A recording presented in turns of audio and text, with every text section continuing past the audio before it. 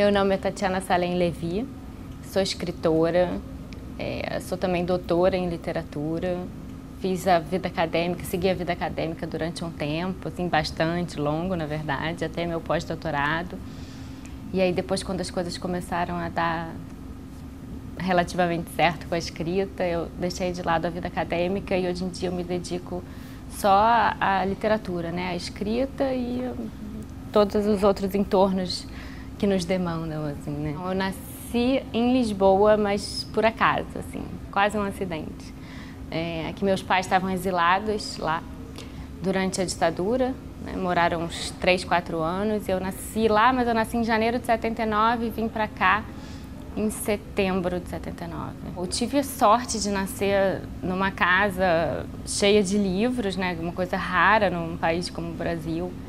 E minha mãe era jornalista, meu pai professor de filosofia, então eu já nasci com uma biblioteca em casa.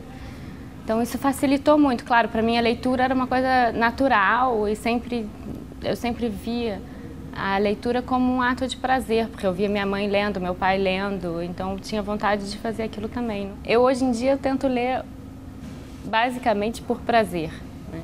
eu, mas durante muitos anos eu li também pelo pelo estudo. Né? Então também li muita teoria literária, é, muita filosofia e muitas vezes eu lia romances que me interessavam para um determinado estudo, mas que não necessariamente me davam prazer.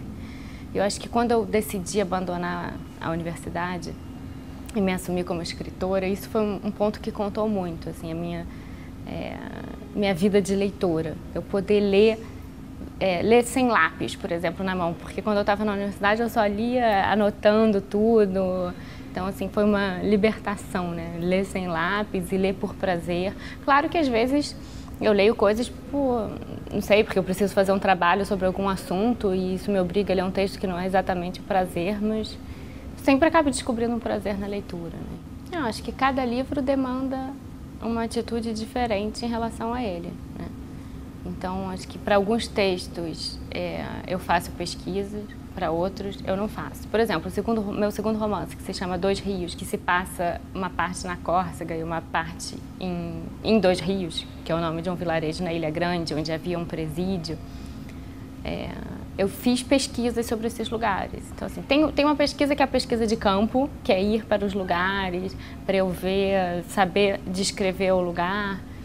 E tem uma pesquisa de livros também. Então, eu li textos sobre a Córcega, li textos de escritores sobre a Córcega, li é, guia turístico sobre a Córcega. E a mesma coisa para Dois Rios, né? Graciliano Ramos, que ficou preso, não em Dois Rios, mas ficou preso na Ilha Grande. É, no Memórias do Cárcere, então foi um livro importante para mim. E como é um livro que fala muito do mar, é, eu li muita literatura sobre o mar. Então, assim, desde cantigas de amigo portuguesas até textos mais recentes do Ian McEwan, por exemplo, da Doris Lessig, que tem o mar como tema, assim. Então, acho que sempre tem alguma pesquisa. Agora, tem aquilo que a gente vive, que é igualmente, se não mais importante, para mim, assim, no, no, no, que eu escrevo. Uma marca da minha literatura é ser muito condensada, assim muito imagética. Então, eu tenho uma... Eu tento sempre é, dizer o máximo possível com o mínimo de palavras e evocar sempre uma imagem. Então, por exemplo, eu, eu, eu conto sempre histórias, porque eu acho que as histórias são importantes, né? E, só que eu não conto as histórias em todos os seus detalhes, como um romance mais, sei lá, um romance do século XIX, por exemplo. Eu não faço isso. É, eu pego os momentos que eu acho mais importantes daquela história, eu imagino aqueles momentos e eu narro esses momentos assim dessa forma mais condensada possível, né? Então os capítulos são sempre muito curtos, né? Não tenho capítulos longos. Um tem a ver com o outro, né? Assim, é encadeado, é um romance, tem uma história, né? mas é, funcionam como pequenos fragmentos. Assim. E a, agora a questão do tempo Claro que a forma fragmentada é uma forma é, é uma forma contemporânea. É que eu tenho buscado cada vez mais um tempo desacelerado. Eu acho que a grande contribuição da literatura, assim, a resist... num certo sentido, a literatura é uma forma de resistência, porque ela obriga quem está lendo a perder tempo. E hoje em dia a gente não pode mais perder tempo, né? O tempo é sempre muito contado, então você tem faz uma coisa atrás da outra e se você não está fazendo nada, você está perdendo tempo, ou você é inútil, ou você não está trabalhando. Para mim o tempo é fundamental, eu não tenho pressa quando estou escrevendo. Então tudo, tudo é demorado comigo. Eu publiquei meu primeiro romance em 2007, o segundo em 2011, que eu acho que escrever é justamente você dar o permitir as coisas terem o seu tempo. E, então eu vivo muito com as histórias até começar a escrever. Normalmente eu passo um ano pensando no romance, vivendo o romance dentro de mim.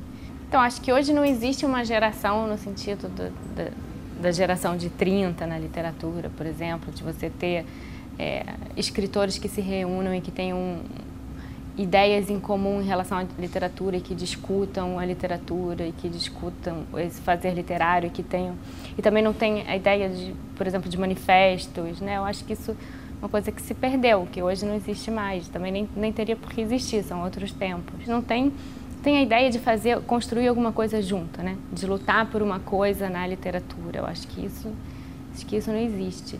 E é uma geração muito muito plural, né? Tem gente fazendo coisas completamente diferentes e que estão numa mesma mesa redonda ou que estão no mesmo bar e que têm ideias díspares em, em relação à literatura. Então, acho que não tem... Eu não me sinto pertencente a uma geração no sentido de um ideal em comum. Você escondeu o quanto pôde, evitou a palavra até onde foi possível. Você assegurou-me de que não morreria doente, de que não morreria. Você assegurou-se disso, agarrou-se a essa certeza que criara para si, mas também para mim. Eu acreditei, você não morreria. Assim podíamos viver tranquilas. Criávamos o nosso mundo, o nosso mundo sem morte, e nele vivíamos. Assim não tínhamos com que nos preocupar. Criávamos as nossas certezas e vivíamos sem dúvidas. Acompanhei a sua fantasia, entrei com você no jogo. Evitávamos juntos a palavra e seguíamos adiante. Você escondeu o quanto pôde, até o dia em que não pôde mais. No princípio, simplesmente recuávamos o olhar do seu ventre crescendo, do seu pescoço inchando, mas com o tempo fomos obrigadas a ver o que não queríamos. Você tinha uma barriga de grávida, embora não houvesse bebê algum gânglios espalhados pelo pescoço, embaixo do braço, na virilha. Cansava-se com pouco, enjoava, vomitava sangue.